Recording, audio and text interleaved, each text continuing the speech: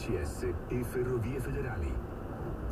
Sulla rete viaria della Svizzera italiana la circolazione è fluida. Per quanto riguarda il passo del San Gotardo vi segnalo che è aperto e normalmente transitabile fino alle 13.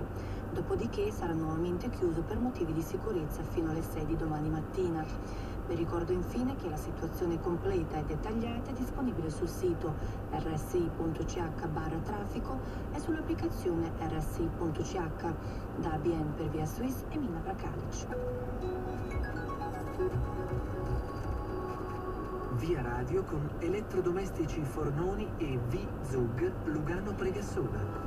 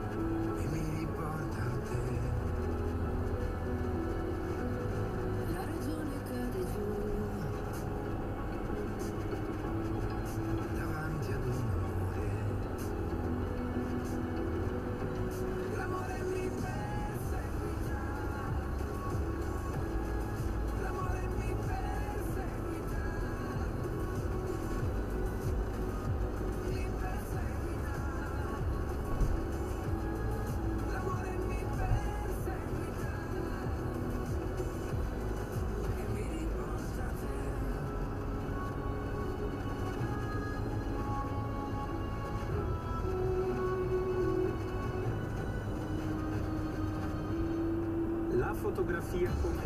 modo per fissare nella mente e nella storia le immagini e le storie proprio della gente. Fino a quest'autunno a Camorino, cioè quindi fino a dopo l'estate, a Camorino sarà visibile una mostra fotografica intitolata La sua gente, la sua terra, grazie alla collaborazione tra l'associazione Fortini di Camorino e il Patriziato, sempre del comune, e per parlarcene la collega Loriana Sertoni ha contattato Alessandro Margnetti, che è membro del comitato dell'associazione Fortini di Camorino. La mostra è nata approfittando di una serie di fotografie che sono state esposte una quarantina d'anni fa nella casa comunale dell'allora comune di Camorino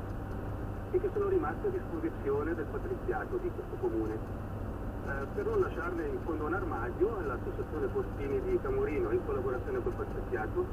ha pensato di organizzare una prima mostra di fotografie all'interno del primo portino, quello situato a Iscarfit, il primo portino sopra il paese. Questa mostra è divisa in due parti, la prima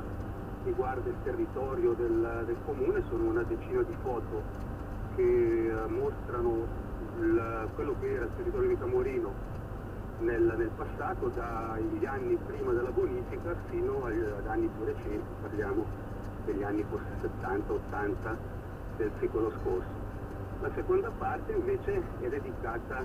alla gente di Camorino, quindi ai suoi abitanti e penso che tutte e due le parti siano utili perché eh, mostrano in fondo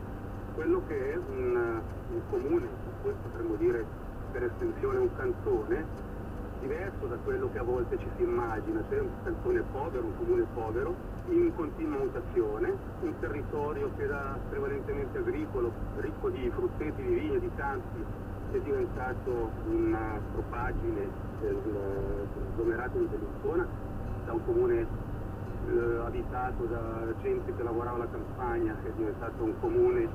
fatto di gente che eh, viene a dormire essenzialmente qua, e che lavora nel terziario, nel secondario qua attorno, e eh, la gente pure è cambiata dicevo, questi cambiamenti di, eh, direi professionali, ecco, ho l'impressione che oggi la gente di Camorino, che abita a Camorino, non si renda più conto di quello che era il comune in passato